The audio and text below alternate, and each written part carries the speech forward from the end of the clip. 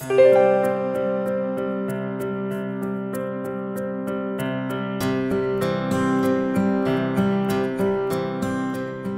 la intención de seguir creciendo en agroexportación y colocar a nuestro país en los ojos del mundo, el ministro de Agricultura y Riego, José Manuel Hernández, se reunió con los representantes de la Sociedad de Comercio Exterior del Perú para definir estrategias que nos permitan desarrollar toda la cadena productiva.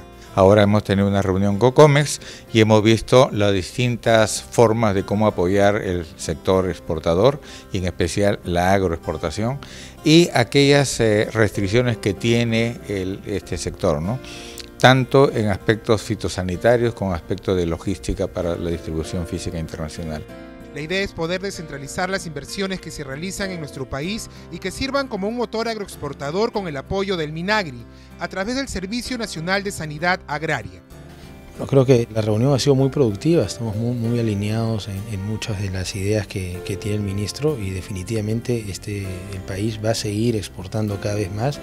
La agroexportación es un motor importante y un sector que genera un empleo formal descentraliza mucho el país. Y en el caso que nos compete, nosotros estamos estableciendo unas mesas de coordinación, mesas de trabajo, con la participación de SENASA.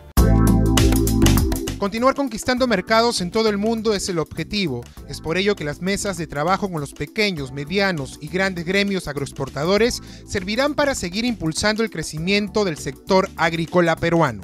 Con eso eh, estaríamos asegurando un crecimiento del sector y estaríamos en la meta de lograr duplicar nuestras exportaciones para el 2021. Yo creo que si tenemos una concertación con el sector privado, tanto en los pequeños, medianos y grandes, así como el exportador específico que se dedica a este negocio, nosotros podemos cumplir con la meta ansiada y que beneficiará a todos los peruanos, que es lograr 10 mil millones de dólares al 2021 como exportación. De esta manera se busca darle valor a esta cadena productiva, pues detrás de los grandes exportadores están los principales protagonistas del desarrollo productivo de nuestro país, los hombres del campo, los productores agropecuarios.